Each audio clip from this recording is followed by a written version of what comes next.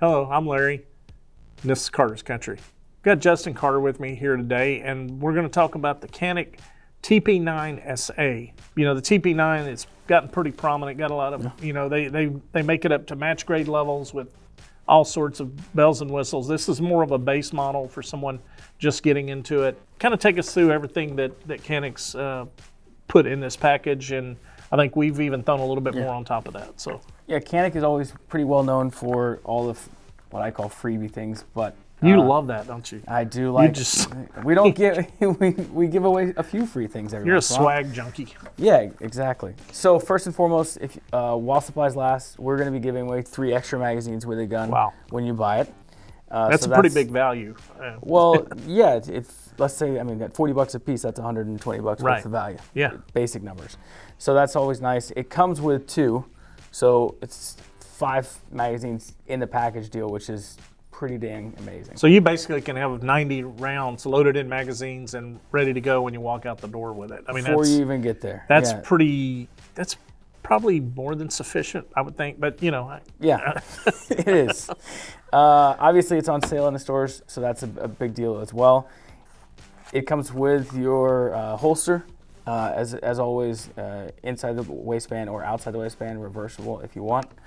One thing on that, just real quick, if you know, working behind the counter a few years back at, at yeah. Carter's, you would see people buy a gun for the first time, and then when you told them or asked them how about a holster, they say, "No, I'll get that later." A lot of people look past the the value and the importance of a holster, um, and then they yeah. get out there and start looking, and you know you you can spend you know 25 on up to 150 bucks on a holster. Yeah. So people, I think, sometimes kind of take that for granted, and to have a holster that can be worn inside or outside the waistband and custom fit for the gun already to be a part of the package, it saves you a lot of additional headaches trying to find the right holster. And it's already included and it doesn't, you know, adversely affect the price point. Uh, the holster is a pretty big deal. And, and if you've carried for any length of time or, or been a long time gun owner, you know that. But for our first time gun owners that may not appreciate that, uh, the value of a holster specific for this gun is a pretty pretty big thing. Well, I mean, even if you don't use the holster, at least you get a chance to put like carry temporarily a holster with you, and you can see if you like it, or you can you can. It's a place to start. Right. That's what I always encourage people when they come to the store is, don't spend for on your first holster 125 bucks if you just don't even know where you're going to wear it. Are you going to wear it inside? Are you going to put it in your pocket? Are you going outside? Or, yeah. Do you need a left hand? Right? Like, there's so many aspects of it, and it's tough on the store level because we get the question all the time. Well, what holster? And it's like, well, it's not just what holster. It's what are you going to do with it? Where are you wearing it? How are you operating with it? Right. So this cuts out that first few months of iteration to understand what you're actually how you're going to wear it. It's a so great point. Yeah. It's exciting to see that as always. Uh, as always, they've got a, their cleaning kit. Uh, this one doesn't come with my favorite little gun. Right here. It's uh, it's a screw set that you that has all of its parts and pieces inside the magazine well. Your little tool. gun wrench. I don't know holder, if yeah. we have one, but I, th I think that's on the on the a little bit higher end version of this gun. So Got sorry it. about that. And one extra back strap. So uh, no lack of free stuff uh, with a gun, which is which is always great to see. And it comes in black and FDE one thing that stands out, and I don't, I hope we can get this on the camera. If not, maybe we can get a close-up shot later. But um, see, you know, it, it's empty here.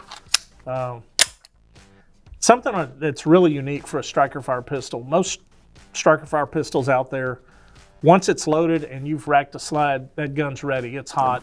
You know, with or without a safety, you, rounds in the chamber, you're ready to go. Uh, this has something that's really unique in a striker fired pistol, in that it's got a decocker here. Yep. So if you if you had it loaded up, you're you're doing some shooting or whatever, then you realize you're going to stop. Maybe you get a phone call, something happens, you need to just go ahead and set the gun down. Uh, right here, and it, and it fits in really seamlessly into the slide, is a decocker.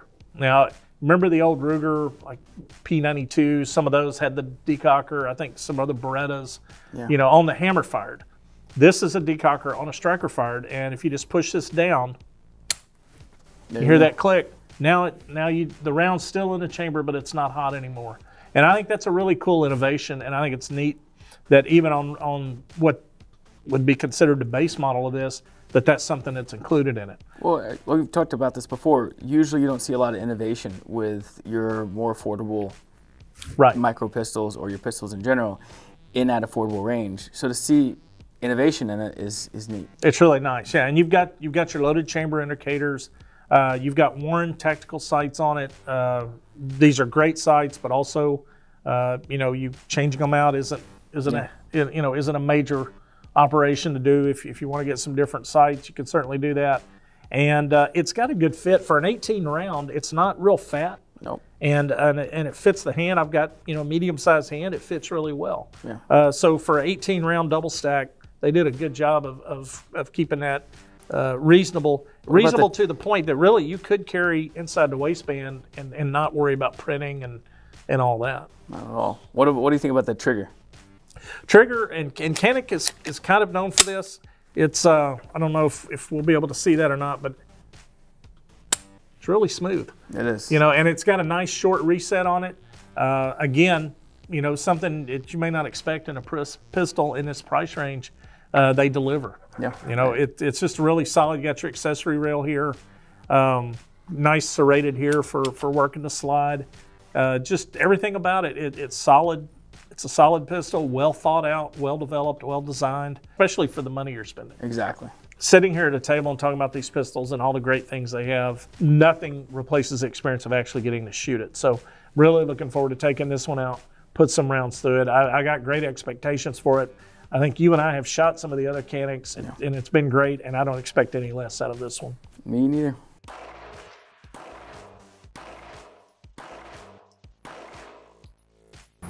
That's nice.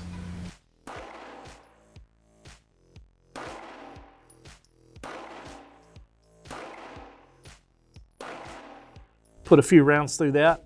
Uh, what were your impressions of it? What were your thoughts? I think it shot extremely well. I actually thoroughly enjoyed shooting it. Uh, it you get the same, uh, for lack of better words, bang for your buck as you get with their, you know, their upper end guns. Yeah. And it, I mean, it, I felt like it shot really, really well. Yeah, I, I, if I had to use one word, I would say smooth. Yeah. And that that's for the trigger, for the muzzle flip, uh, everything. It's just a smooth, well designed, well balanced machine uh, to me. Uh, It truly is. it, it just you know as, as you're shooting it's just it just had a good feel and rhythm to it uh, there wasn't any oh i got to adjust for this or this what i was expecting before i shot the first round is exactly what it delivered i guess is the, the way to say it uh, it met every expectation i had for it and based on our previous shooting with some of the higher end caniks i had pretty high expectations and it met them i mean it, it really is a, a great gun at a, at a great value. And uh, again, you know, it comes with two 18 round magazines. For the while supplies last, we're throwing in three more 18 round magazines. Got an inside or outside the waistband holster, custom fit for that gun, speed loader that comes with it. I mean, and There's it's, a lot it's of just value. There's a lot of value. Value is the perfect word for it. It really is. It, it there's a lot of value to it, and and it's the type of gun that you could just shoot all day and stay comfortable with. It's not going to wear you out. It it does all the work. I mean, the trigger performs just as well as I thought it was going to. Yeah, extremely smooth trigger. Uh, it just uh, it's just a really well built, well balanced, well designed firearm. Well, we hope you enjoyed our look at the Canik TP9 uh, SA. Like all our videos, we ask that you subscribe to our channel, click the like button if you liked it. Feel free to comment down in the comments section. We have new videos coming out every Friday. Let us know of things you would like to see. We'll try to cover them if we can. Um, your feedback is important to us and it helps us try to continue to make these things more informative and more enjoyable for you to watch. Remember, if you've ever shopped, shot, or hunted with us, you're already a part of the Carter's Country family. Until next time, adios. The whole time I'm getting ready to move my finger, my one eye is looking over here to see when his is going to move. It'll all work itself out. But, uh, you know, They like can only we- fire me once. That's right. I want to do my finger guns. yeah. Uh, they got an itchy finger gun today, which may be something you need to see a doctor about.